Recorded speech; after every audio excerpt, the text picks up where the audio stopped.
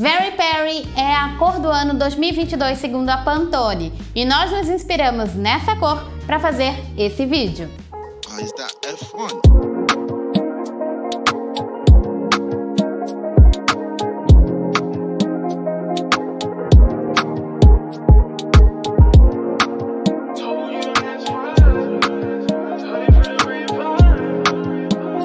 E hoje a gente vai mostrar para vocês o passo a passo de como foi feito esse vídeo, desde a captação até a edição.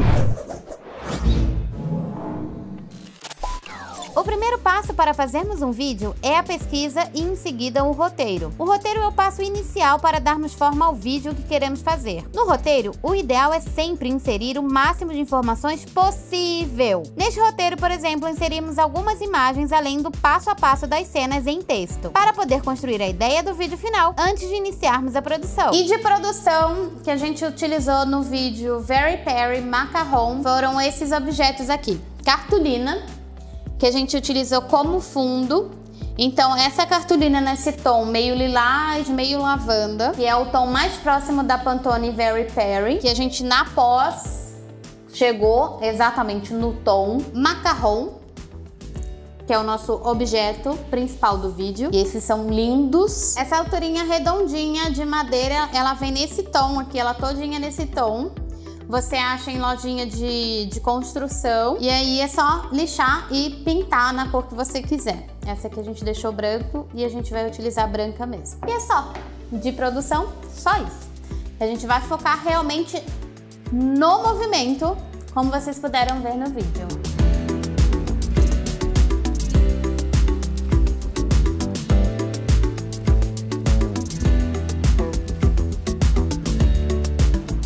Essa cena, a gente começa fazendo a arrumação com todos em cena. E aí a gente vai fotografar, porque a gente vai animar um stop motion para eles surgirem nessa cena. Então a gente vai começar fotografando a cena toda e aí depois a gente vai tirar um de cada vez e clicar. Tirar um, clica, tirar outro, clica, tirar outro, clica. E na pós é que a gente vai animar essas fotos e aí a gente vai fazer eles aparecerem e saírem um de cada vez. Para a cena do macarrão girando, a gente vai usar furadeira e um palito de churrasco. A gente pega o macarrão, prende ele aqui no palito e grava ele girando. E aí na pós a gente apaga tudo e fica com ele livre para a gente trabalhar do jeito que quiser. Essa sequência do macarrão caindo e depois dele girando, a gente vai fazer tudo em stop motion. E para isso, vamos pegar o macarrão e o nosso palitinho de churrasco e fazer ele caindo.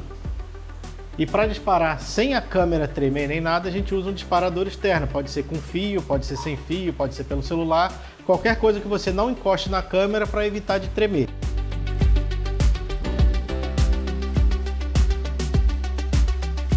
Agora a gente vai para a cena mais difícil de todo o vídeo, é a cena de mordida. E a gente vai usar uma técnica milenar de gravação de vídeos para fazer mordida, que é morder mesmo. E é a melhor parte.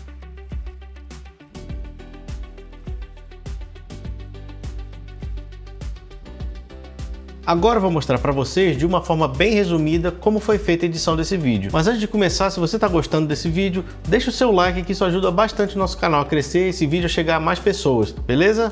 Então vamos lá. Essa introdução tem dois momentos. Uma é essa do texto entrando, que é uma animação toda feita aqui no After Effects, com texto, com esse shapezinho aqui.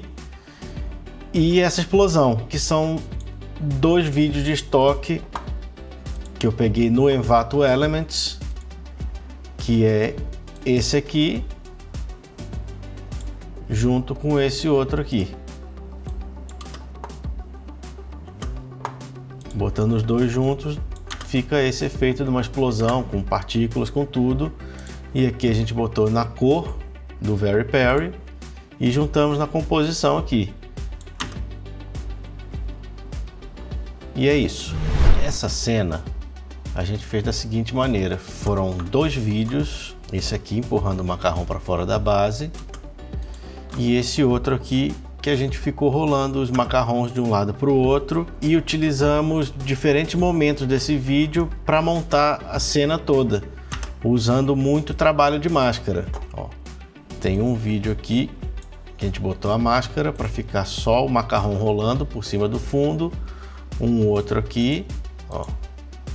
Eles ficaram independentes e a gente conseguiu trabalhar aqui botando vários, vários macarrões juntos como se tivessem vários rolando ao mesmo tempo, mas na verdade são momentos diferentes do vídeo que a gente juntou aqui. E ficou assim. Nessa cena precisou apagar a mão aqui. E isso foi feito através de trabalho de máscara também. Que aqui foi feito no After Effects. Ó. Foi recortado aqui. Deixa eu desligar essa máscara tá aqui. E aqui a gente eliminou, porque eu já tinha aqui um fundo sem nada, vazio, que eu peguei um frame do vídeo vazio, coloquei aqui.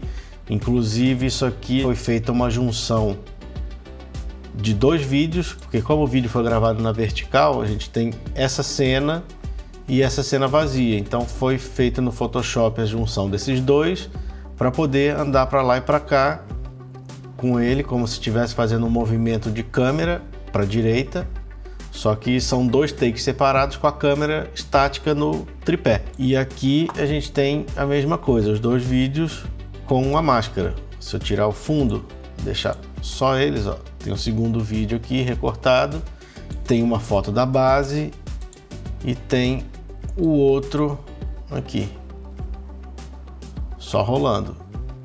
E aí aqui junta os dois com ó, o outro vídeo, que quando a gente coloca o fundo, parece que é uma coisa só.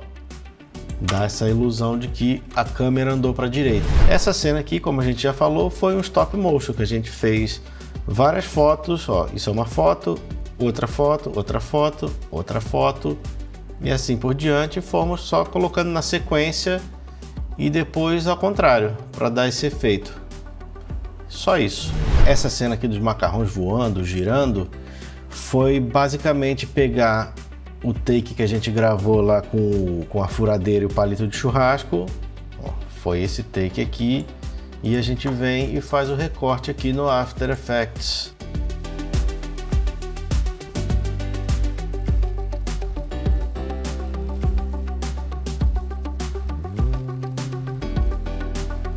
Eu peguei três takes diferentes recortei todos eles. E quando a gente coloca o fundo, tá aqui, ó, os três macarrões. E esses movimentos aqui de girando é tudo feito na animação de rotação e posição aqui no, no próprio after.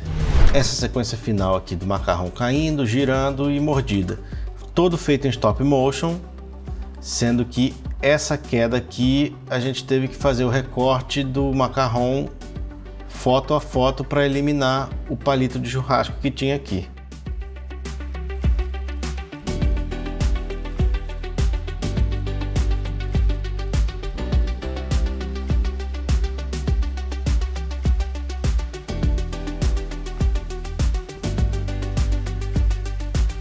E aqui já emenda com a próxima cena, que é só aquela foto que a gente fez. Uma foto cada o giro foto a foto e colocamos na sequência aqui.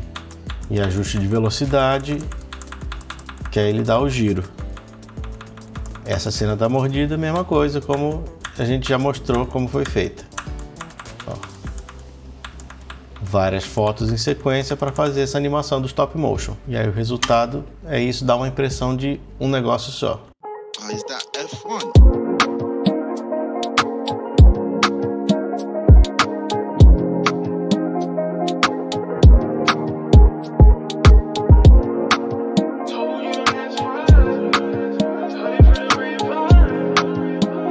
Esse foi o processo de criação desse vídeo.